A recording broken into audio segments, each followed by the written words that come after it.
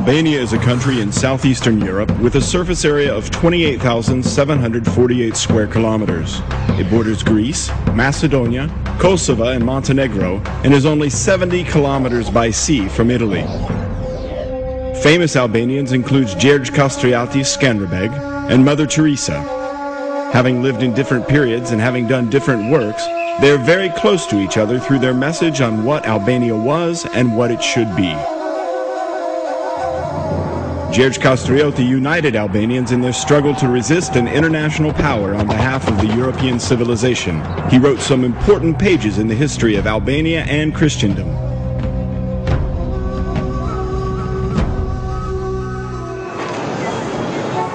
Today, the three and a half million Albanians of the Republic of Albania are just the central piece of a mosaic of six million Albanians living in the Balkans, a very dynamic part of a 56 million people regional market.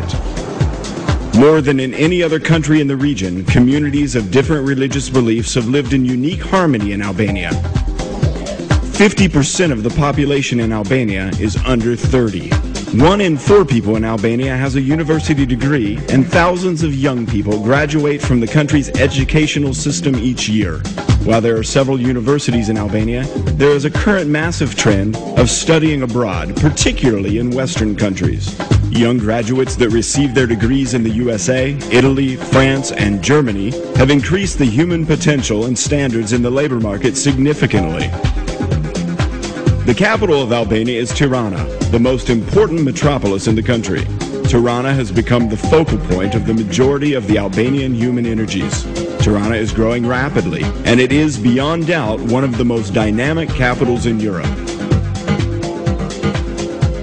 When people visit Albania, they soon realize that it's a country of surprising natural beauty and rich historical and cultural heritage. Within two or three hours and a few kilometers of traveling, visitors can touch grandiose Alps, wonderful valleys, torrential rivers, sandy and rocky seaside, green, blue, and white landscapes. And as you observe such generosity of nature, you can also see that the human hand has created beauty as well. The land of eagles has eternally been on borders that have marked empires and eras, while it also embodies cultures, legends, and well known characters. Here we can find the footprints of Aeneas, the wars of Alexander the Great, the campaigns of Epirus, the schools where Roman emperors learned.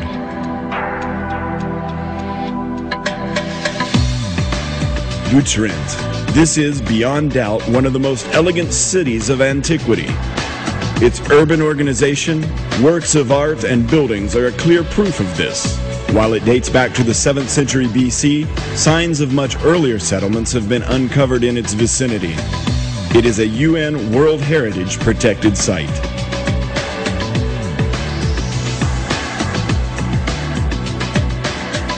Perhaps it's difficult to believe that 2,500 years ago, somewhere in the southeast of Albania, there was a city with more than 50,000 inhabitants.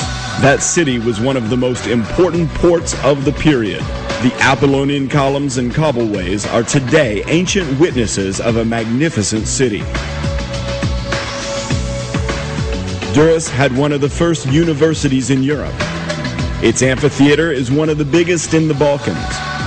The city was the starting point of the famous Egnatia, which is an ancient version of the 8th Pan-European Transportation Corridor. The Byzantine period gave Albania artists and works and fantastic cities such as Berat, Gjirokastër, and Krye, which are today regarded as World Heritage. Onufri, the mythical painter, the famous composer Kukuzeli, and Sinan, the extraordinary architect, created invaluable art and civilization heritage for posterity.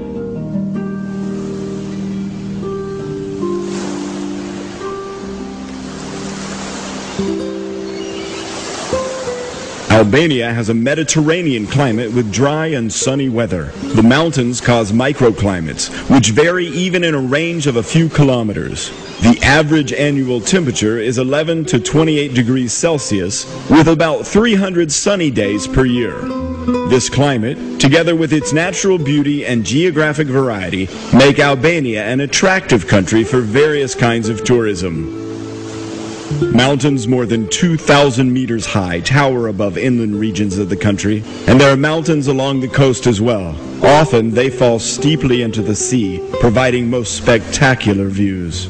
There are numerous mountain resorts with quality hotels, while many opportunities remain for building more. With little investment, horse racing courses or tennis courts could be built, which would have special lure in the shadows of the nearby snowcaps. The mountains provide excellent opportunities for rafting, skiing, and horseback riding. It's difficult to find another country in the region with the right conditions for such a broad spectrum of adventure and quiet tourism. The Albanian coast, which is 427 kilometers long, encompasses two seas, the Adriatic and the Ionian. There are about 120 hotels with nearly 80,000 beds on the coast. In 2006, nearly 350,000 tourists spent their holidays here. The Adriatic coast is long with populated sandy beaches. Restaurants, ferry lines, and ports are nearby. The Ionian coast has an infinite number of small bays offering total privacy. Within a few minutes, one can leave the mountains and reach the sea, finding views of rare beauty. Not surprisingly, it's called the Mediterranean's last pristine beach.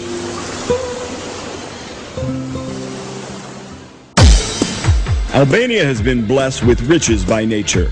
Under its small surface area, there are significant mineral reserves. For some, it tops the world's lists.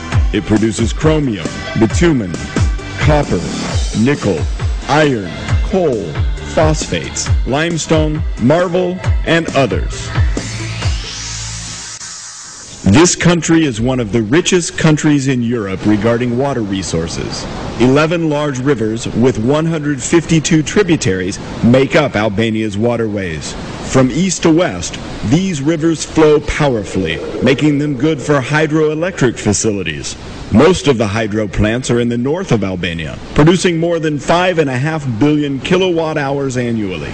This is only 30% of the power that can be produced through Albania's water potential. The energy sector provides most of the opportunities. The construction of small and medium sized hydropower plants is one of the areas of safe and fast investment. Increasing water power potential is one of the strongest demands in the Albanian economy, and it has a guaranteed market.